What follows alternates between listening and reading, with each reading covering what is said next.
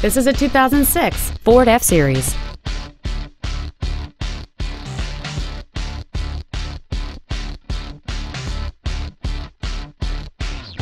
Features include front and rear reading lights, 17-inch wheels, an anti-lock braking system, a passenger side airbag, door reinforcement beams, and an auxiliary power outlet.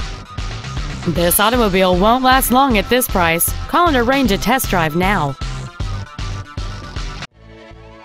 Heart of Texas is dedicated to doing everything possible to ensure that the experience you have selecting your next vehicle is as pleasant as possible. We are located at 110 South Bridge Street in Brady.